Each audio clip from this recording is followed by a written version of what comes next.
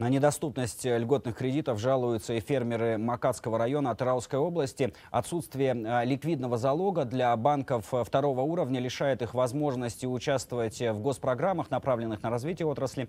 Проблема актуальна для всего региона. Дело в том, что большинство фермерских хозяйств когда-то строили на базе совхозных зимовок. Юридических документов на них не было. Э, Тогда нет и сейчас. Поэтому чиновники приступили к инвентаризации скотных зимовок и э, недвижимости хозяйств, расположенных в них.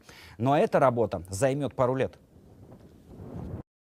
қырда э, Фермеры на зимовках в качестве залога выставляют в банки второго уровня те помещения, в которых живут. Однако сами зимовки официально населенным пунктом не являются, поэтому строение без документов отсюда и проблемы. бұл жерде тұрған үйлердің Ни один из местных домов не имеет официальных документов, в том числе и тот, что приобрел я. Жилье у зимовок, говорят, для временного проживания, поэтому документы банк не принял. Тут у всех такая проблема. Люди живут, работают, разводят скот, но получить кредит на расширение бизнеса и увеличение поголовья не могут.